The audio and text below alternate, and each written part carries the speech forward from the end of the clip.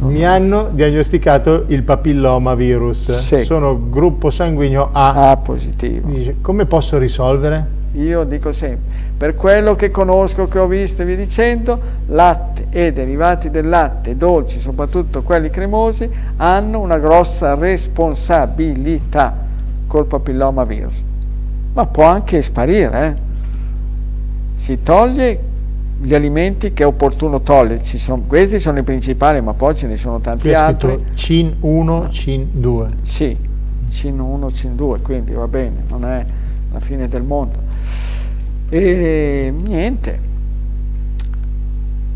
prenda delle piantine di calendula, si coltivi questa calendula che fa dei bellissimi fiori o gialli o arancione, li può far seccare e poi può fare una, in infusione, prepara questa soluzione con i fiori di, e poi va in farmacia, compra quei bei perettoni che servono per le irrigazioni vaginali e tutti i giorni al mattino appena alzata per un buon periodo faccia queste irrigazioni vaginali.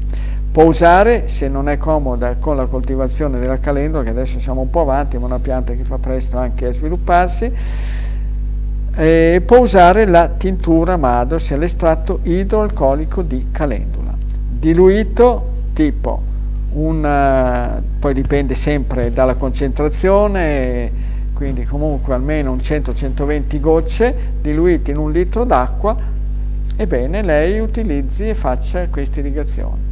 Si tenga sempre poi controllata, si faccia controllare dal suo ginecologo e poi eh, può vedere. Ho visto risultati stupendi, persone che hanno visto sparire, sparire completamente la presenza di questo virus. Fermo restando che i responsabili principali ritengo, ritengo che siano quelli.